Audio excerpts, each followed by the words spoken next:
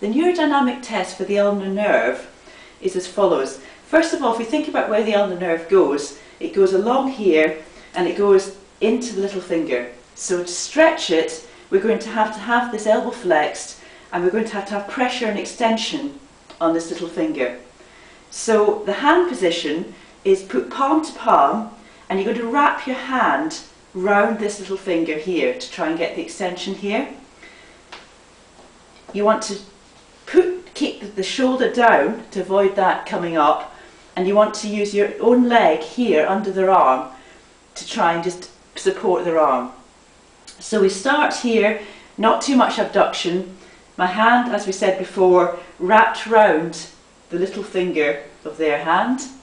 And the first thing that we do after depressing the shoulder is we extend the wrist and that little finger.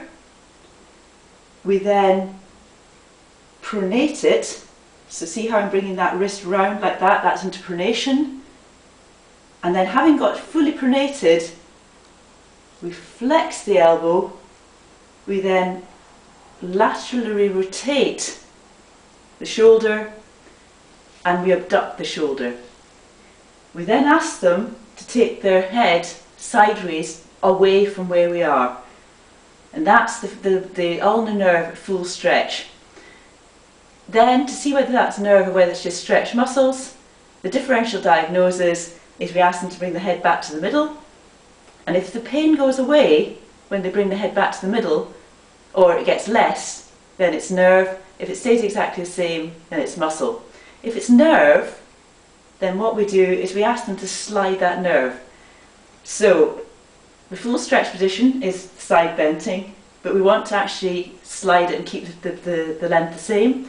So as they bring, we ask them to bring the head back to the middle again, that's the starting point.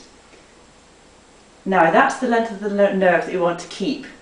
To now slide it, when they take the head away, I need to reduce the pressure here slightly. So they'll take the head away and we'll just take the pressure away there. So that's keeping the nerve the same length. They bring the head back into the middle and I put it back onto the arm. Take the head away and so on. So it's almost like a, a little waving salute. So if you think oh, ulnar nerve is a salute and that's it sliding.